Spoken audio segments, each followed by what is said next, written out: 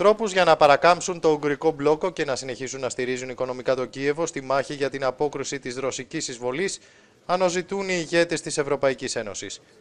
Το Ευρωπαϊκό Συμβούλιο αποφάσισε την πραγματοποίηση νέα συνόδου κορυφής που θα αφορά τη χρηματοδότηση της Ουκρανίας και το ξεκλείδωμα του πακέτου των 50 δισεκατομμυρίων ευρώ στις αρχές του επόμενου έτους.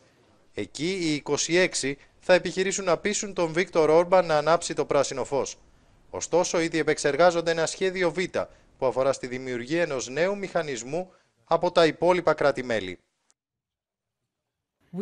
Εργαζόμαστε πολύ σκληρά φυσικά για να υπάρξει ένα αποτέλεσμα στο οποίο θα συμφωνήσουν και τα 27 κράτη-μέλη. Αλλά νομίζω ότι είναι επίσης απαραίτητο να εργαστούμε για πιθανές εναλλακτικές λύσεις, ώστε να υπάρξει μια λύση λειτουργική στην περίπτωση που η συμφωνία των 27, δηλαδή η ομοφωνία, δεν είναι δυνατόν να επιτευχθεί.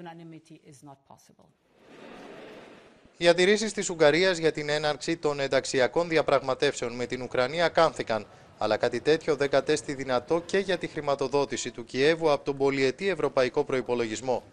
Σύμφωνα με τη Βουδαπέστη, η Ευρωπαϊκή Ένωση δεν πρέπει να στείλει χρήματα για να υποστηρίξει τον πόλεμο, αλλά για να σταματήσει τις μάχες.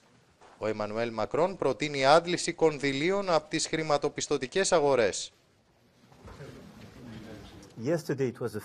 Αποτύχαμε στην αναθεώρηση του προϋπολογισμού λόγω του βέτο που έθεσε στο τραπέζι η Ουγγαρία.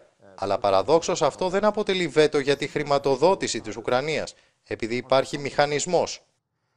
Έχουμε 18 δισεκατομμύρια που μπορούμε να συγκεντρώσουμε από τις αγορές και απαιτείται απόφαση με ειδική πλειοψηφία, όχι ομοφωνία, και ήταν αυτό που διαπραγματευτήκαμε πέρυσι. Επομένως, νομίζω ότι μπορούμε να χρηματοδοτήσουμε την Ουκρανία αν υπάρξει αδιέξοδο το επόμενο έτος.